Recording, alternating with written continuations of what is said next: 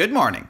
My name is Billy, and this is another video project for Flippin' Physics.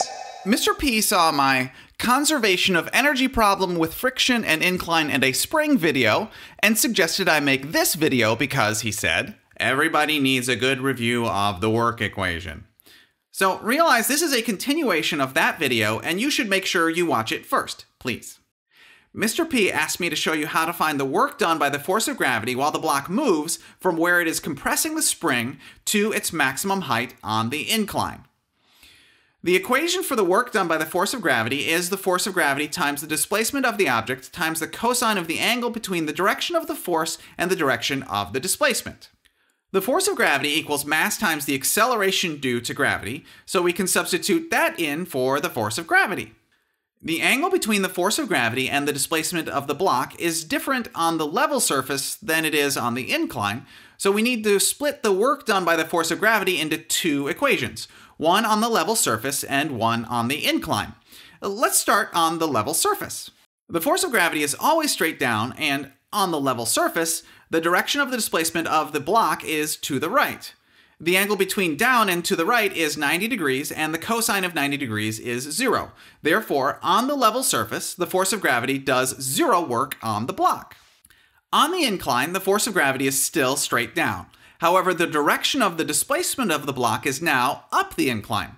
Therefore, the angle in the work due to the force of gravity equation on the incline is between straight down and up the incline which works out to be 90 degrees plus the angle of the incline, which is 25 degrees. We know that because the incline angle is 25 degrees and forms a right triangle with the force of gravity. Because the interior angles of a triangle add up to 180 degrees, that means this angle is 65 degrees. If we draw a line normal to or at a 90 degree angle to the incline, we know this angle is the same as the incline angle or 25 degrees. Hence, the angle between the force of gravity and the displacement of the block is 90 plus 25, or 115 degrees. Going back to the equation for work done by the force of gravity on the incline, all we need to do is substitute in the values, all of which, with the exception of the angle, we know from the previous video.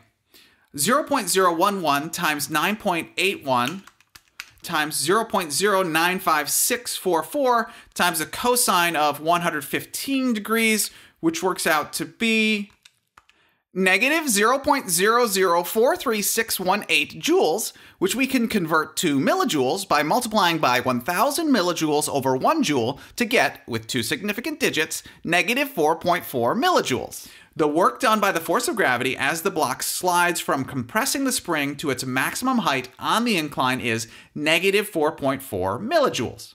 Thank you very much for learning with me today. I enjoyed learning with you.